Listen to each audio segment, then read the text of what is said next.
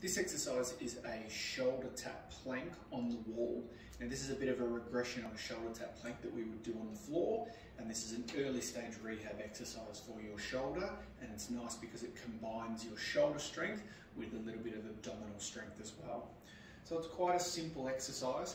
What you want to do is find yourself against the wall somewhere, hands on the wall at about shoulder height and then you're going to move your legs backwards to about a 45 degree angle. Now, if this is too difficult, you can bring your feet in so it's less of an angle, but over time you want to get out to this 45 degree position. From there, I'm positioning myself in a nice straight line down through here, so my bum's not up in the air like this, and at the same time I'm not arched forward there, so I'm quite strong through there, and my abdominals are keeping me in that position. And then from there, quite simply, I want to tap my opposite shoulder with my hand, and what you hopefully notice here is that I'm not moving it all through my body and I'm not shifting side to side. The other thing here is that my elbows stay straight so I'm not going into the wall like that.